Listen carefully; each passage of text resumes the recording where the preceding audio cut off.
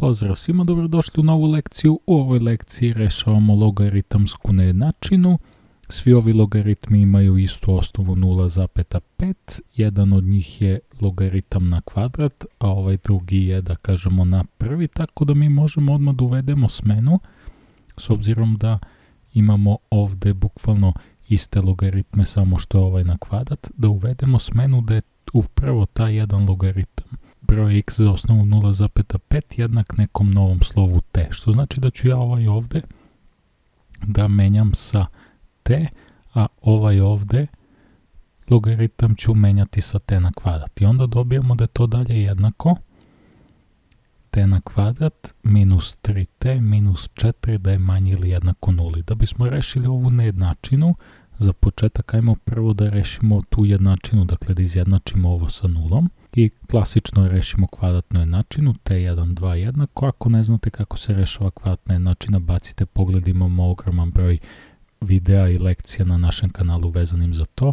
Dakle, bit će minus 3 na kvadrat, minus 4 puta 1 puta minus 4 kroz 2 puta 1, t1, 2 jednako 3 plus minus koren iz minus 3 na kvadrat je 9, minus 4 puta minus 4 plus 16 kroz 2 puta 1 je 2, t1, 2 jednako 3 plus minus, 9 plus 16 je 25, dakle imat ćemo koren iz 25 sa 2, ajde pisću produžetku, to je jednako 3 plus minus 5 sa 2, dakle prvo rešenje će biti jednako 3 minus 5 sa 2, a drugo rešenje će biti jednako 3 plus 5 sa 2.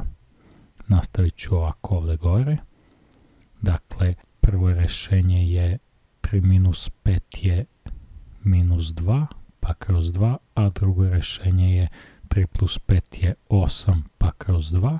Prvo rešenje je minus 1 jer možemo da skratimo dvojku i dvojku sa 2 a drugo rešenje je 4 jer 8 kad podelimo sa 2 dobije se 4.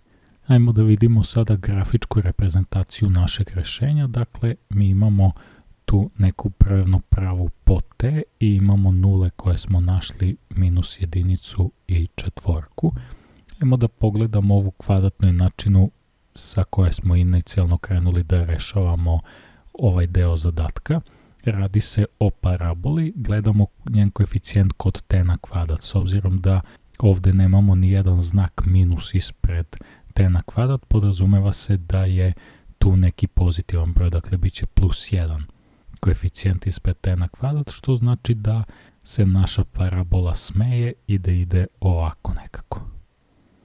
Drugim rečima ovde između minus 1 i 4 će biti negativne vrednosti, a od minus beskonačnosti do minus 1 pozitivna, jer vidite da je ovde parabola iznad nule, a takođe i od 4 do plus beskonačno vidite da tu parabola takođe ide iznad nule, znači tu će biti pozitivna.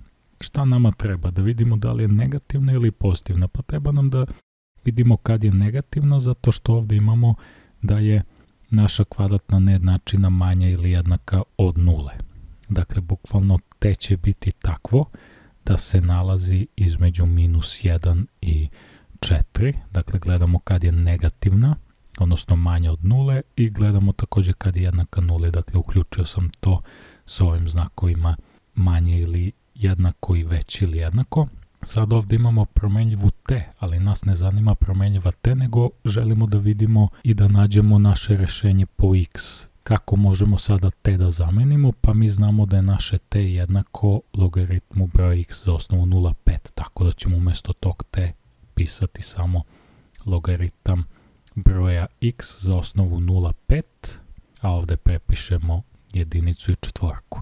Šta je to nama to 0,5? 0,5, ajde mogu lakše da ga napišem kao 5 desetine, pa 5 desetine možemo da skratimo sa 5 i gore i dole i dobit ćemo da je to jedna polovina. Dakle, ja taj logaritam sada mogu da pišem, umesto da ima osnovu 0,5, da ima osnovu jedna polovina, čisto da nam bude lakše i razumljivije rešavanje ovog zadatka.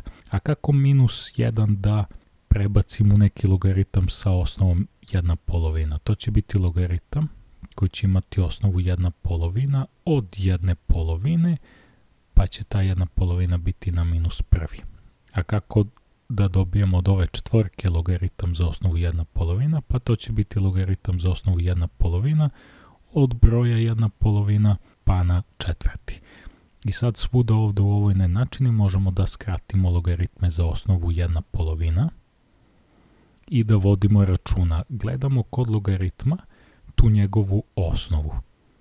Ako je ta osnova veća od jedinice, onda tako nama ostaju iste ove, isti ovi znaci nejednakosti. A u slučaju da se nalazi između 0 i 1, onda ćemo obrtati znak nejednakosti. Ovde imamo da je nama jedna polovina u osnovi, a to je manje od 1, dakle radit ćemo obrtanje ovih znakova nejednakosti. Znači imat ćemo jednu polovinu na minus 1, obraćamo znak da je veće od x, a to da je veće od jedne polovine pa na četvrti.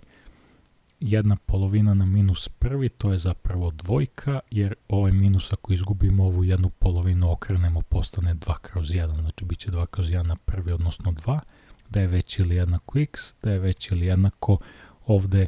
Dižemo jedinicu na četvrti stepen, 1 na četvrti je 1, dižemo dvojku na četvrti stepen, 2 na četvrti je kada 4 puta množimo dvojku sa samom sobom, a to je jednako 16, dakle ovde će biti jedna šestnestina i sad samo da oprnemo ovo da nam bude lepši zapis, znači x će biti, pardon, x će biti između jedne šestnestine i dvojke, uključujući jednu šestnestinu i dvojku, Samo smo ovde oprnuli dakle znakove nejednakosti. E, još jedna stvar, morat ćemo da bacimo pogled na uslov našeg zadatka. Uslov je takav da svi oni argumenti što su logaritma moraju da budu veći od nule. Dakle, jedino što imamo u argumentu našeg logaritma to je x, što znači da to x mora da bude veće od nule kao uslov našeg zadatka, očigledno ovde s obzirom da se x nalazi između jedne šestnestine i dvojke da je uvek veće od nule, tako da ovo naše rešenje